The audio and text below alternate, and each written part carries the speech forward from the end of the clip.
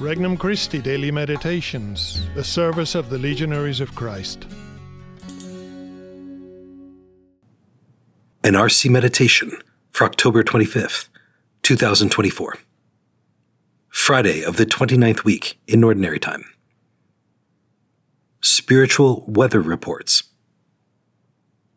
From the Gospel of Luke, chapter 12. Jesus said to the crowds, when you see a cloud rising in the west, you say immediately that it is going to rain. And so it does. And when you notice that the wind is blowing from the south, you say that it is going to be hot. And so it is. You hypocrites! You know how to interpret the appearance of the earth and the sky. Then why do you not know how to interpret the present time? Why do you not judge for yourselves what is right? If you are to go with your opponent before a magistrate, make an effort to settle the matter on the way. Otherwise, your opponent will turn you over to the judge, and the judge hand you over to the constable, and the constable throw you into prison. I say to you, you will not be released until you have paid the last penny.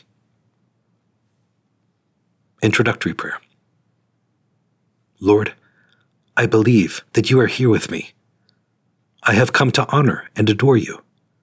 Your love sustains me.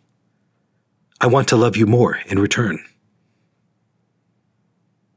Petition Lord, allow me to comprehend your providence more deeply.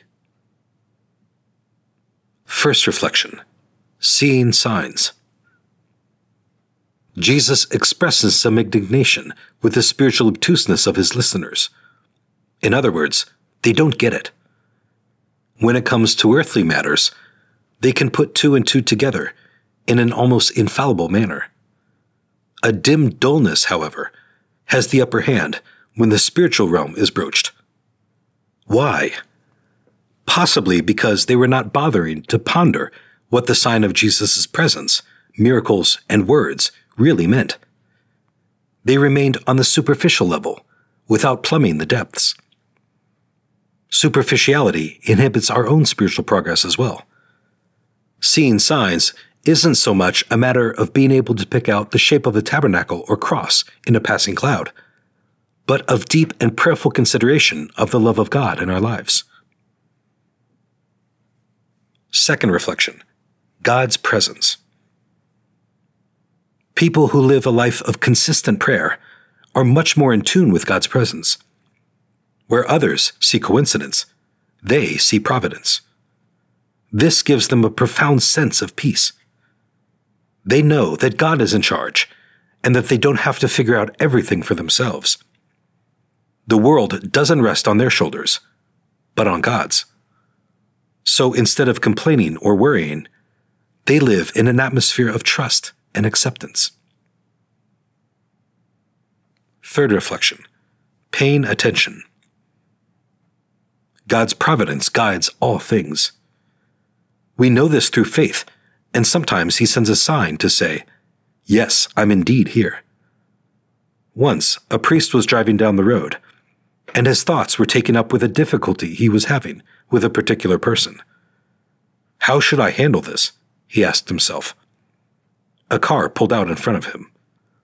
The license plate read Caritas, which is Latin for charity. Was it just a coincidence? He couldn't deny that this was the answer he was looking for. The signs that invite us to be more Christ like are the ones to which we need to pay the most attention.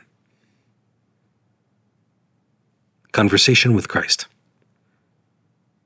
Lord, the times I really don't pick up on the signs you send me are when they challenge my resistance to your grace.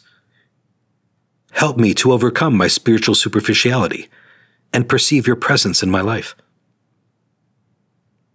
Resolution I will try to be prompt in following the inspirations of the Holy Spirit. For more resources, visit regnumchristi.org or download the Regnum Christi English app today.